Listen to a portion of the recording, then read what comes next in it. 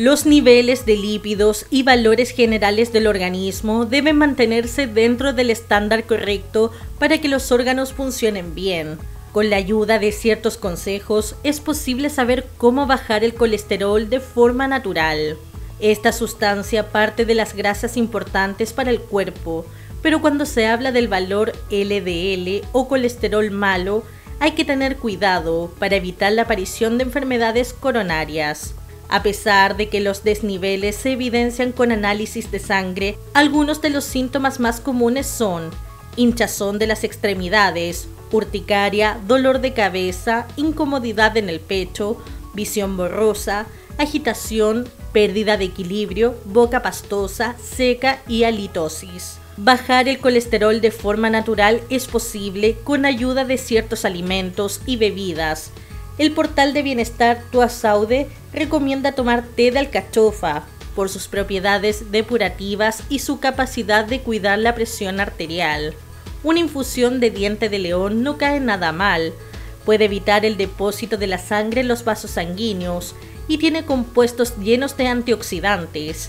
La cúrcuma no se queda atrás y destaca por su compuesto activo con efectos cardioprotectores. Los tés hierba mate y verde disminuyen la absorción de grasa a nivel intestinal, debido a que aumenta su excreción por medio de las heces.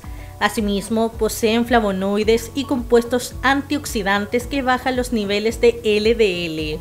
Otro aliado para bajar el colesterol de forma natural es el ajo, que suele consumirse crudo, cocido, como suplemento o en forma de cápsulas. Los esteroles o estanoles vegetales también son positivos y de fácil acceso, pues se encuentran en frutas, semillas y granos.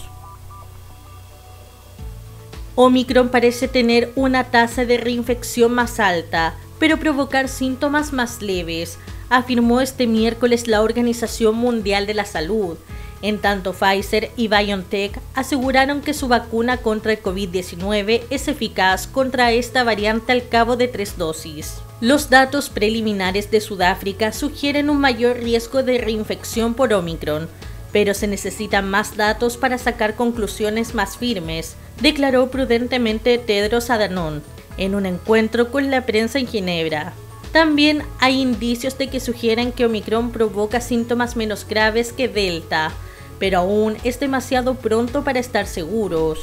Los laboratorios Pfizer y BioNTech, por su parte, insistieron en la eficacia de su vacuna actual contra la variante Omicron. Los científicos de alto rango de la OMS y de la Casa Blanca apuntan a que las vacunas anti-COVID existen a priori y siguen siendo pertinentes contra Omicron, cuyo descubrimiento reciente en Sudáfrica generó una ola de pánico.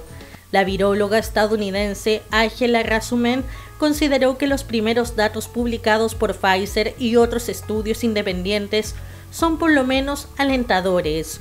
Una tercera dosis reducirá el riesgo de infección en personas vacunadas, declaró a la agencia AFP. Aún así, pidió prudencia destacando que los niveles de anticuerpo, lo único que de momento se ha medido, no constituyen la única manera de hacer frente a la enfermedad.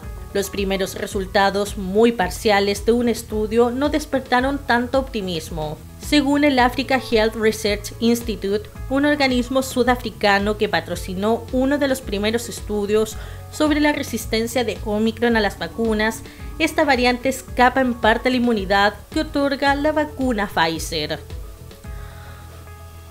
Las enfermedades de la tiroides afectan más a mujeres que a hombres, de hecho, durante periodos de cambios hormonales como el embarazo y la menopausa, tienen más riesgo de desarrollarlas, según la Oficina para la Salud de la Mujer de Estados Unidos.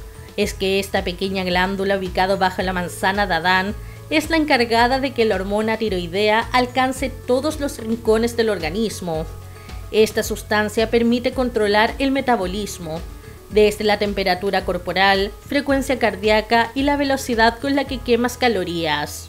Es más común que estas enfermedades aparezcan como trastornos autoinmunes, pero también ocurren por fallas en la producción de la misma glándula. Por lo general, más que síntomas, en las mujeres los problemas a la tiroides resultan en ciertas complicaciones específicas que afectan el periodo menstrual y podrían hacerlos más escasos, prolongados o irregulares, dependiendo de la cantidad de hormona tiroidea que se produzca. Además, podría ser más difícil el quedar embarazada o causar problemas durante el periodo de gestación, tanto al bebé como a la madre, pero con los chequeos regulares se pueden identificar estos diagnósticos rápidamente. Los síntomas de la tiroides varían mucho dependiendo de la enfermedad que se trate.